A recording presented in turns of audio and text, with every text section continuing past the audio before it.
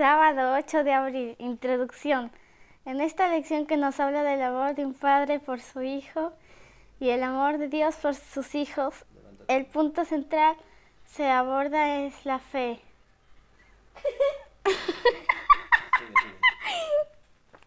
la fe.